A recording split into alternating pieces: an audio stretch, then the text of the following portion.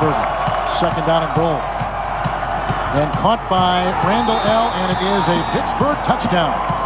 A three-yard strike in the young quarterback's first touchdown pass. Roethlisberger and reaching up, James Washington for the touchdown. Again crowding the line, San Diego. Now they back off.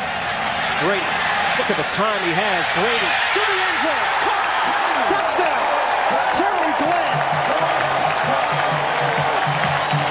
Came into tonight's game five and one over the previous two postseasons with Tampa Bay and a championship in 2020. He completes here to break for the touchdown with 2.04 to go. And uh, no, a fake, and now a lob throw and a touchdown, beautifully executed. As coming up with the ball is Josh Norman. End zone, Smith spinning and it got it for. They're looking into the end zone. There's Calvin Johnson, touchdown Lions. Calvin Johnson reaches NFL pay dirt for the first time in his career on six. Stafford with time. One on one for Calvin Johnson. Lays up. Pulls it in. Touchdown Lions. Three yard line for Pittsburgh and the end around. They bring it on the near side to Antonio Brown. He's got room. Bironas to beat him. There he goes. He'll be chased and he is gone. 97 yards. Oh, what a way to start. He's got all day.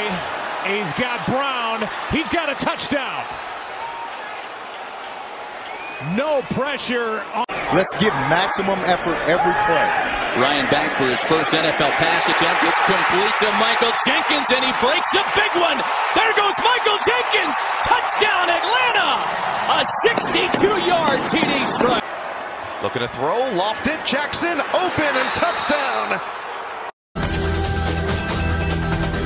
On a dreary day for Mike Nolan, rookie running back Frank Gore was a ray of hope. On his 72 yard touchdown run, Gore showed off his speed and quickness. But the touchdown was only worth six points, which wasn't enough for the Niners who had. Fourth down, it's Gore trying the left side. He's in for a Jets touchdown.